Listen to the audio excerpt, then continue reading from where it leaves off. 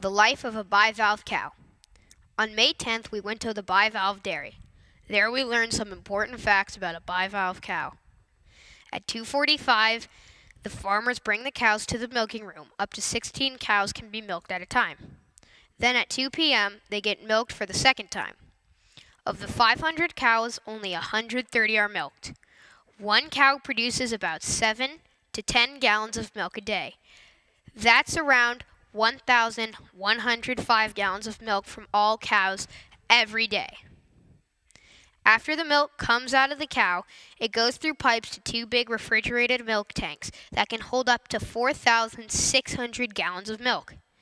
If there is a big storm and the milk trucks can't come up that day, they have enough room for four days of storage of the milk. From there, it goes through panels with cold water running one way and the warm milk going the other. The milk starts cooling instantly.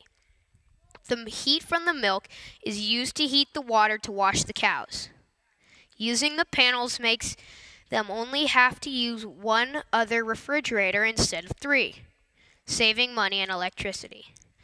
Another way they are trying to save electricity is they are going to start using the methane gas from the poo to run tractors and other things.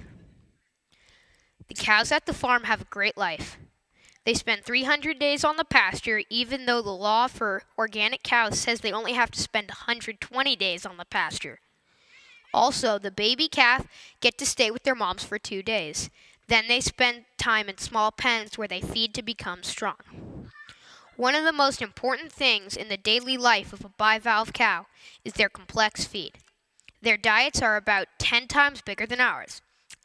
These organic cows eat 130 pounds of pasture feed each day. What makes these cows so different is their diet.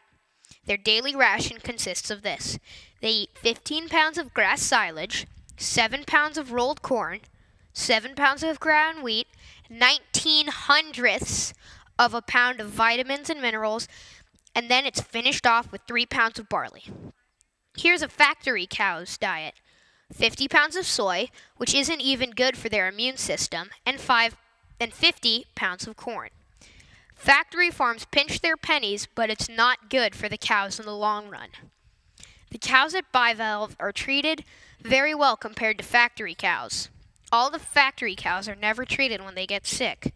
When they get eye cancer, they are left untreated and they get a crater like hole in the side of their head.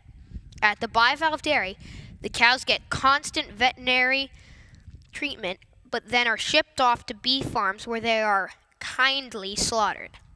Also, the bivalve cows are bandaged up when they get hurt, but some factory cows get beat and dragged away and sold to slaughterhouses. Why would you want to buy milk from a cow treated like that?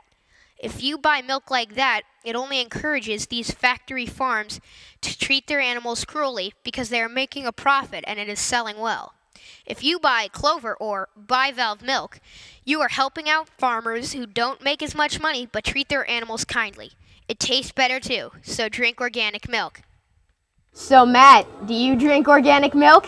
Straight from the cow. Jeff, do you drink Clover Stornetta organic milk? Yes, I sure do drink organic milk. Curtis, do you drink organic milk? I do. It's been about a year and a half since I only drink organic milk.